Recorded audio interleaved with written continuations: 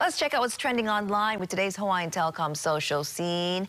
And it seems like they're getting into the holiday spirit down under. That's right, Christine. The animals were going absolutely bananas at Sydney's Taronga Zoo because Christmas came early this year with some tasty treats. The giraffes were saying ho ho ho because they got to eat apples from Christmas trees that were arranged to read ho ho ho while the lions chowed down on some pine Christmas trees. And not to be outdone, the sea lions enjoyed eating fish placed on ice to read Merry Christmas. While the monkeys, oh, they got to feast on some Christmas colored bell peppers.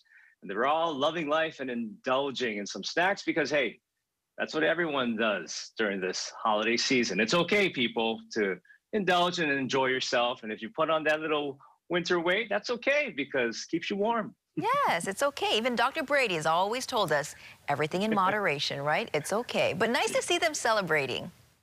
Yeah.